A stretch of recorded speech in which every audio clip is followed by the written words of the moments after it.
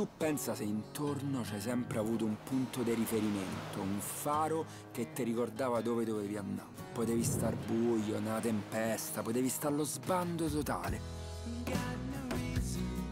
Ma lo sapevi che comunque quel faro stava là. E te fidavi così tanto di quel faro che ci hai costruito tutto intorno, tutto il villaggio, tutta la vita tua, dando per scontato che sarebbe stato là sempre.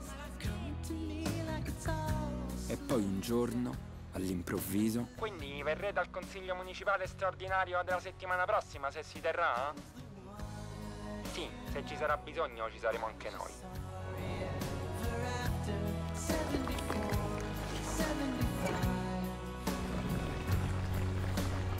E te rimani al buio in mezzo alle macerie.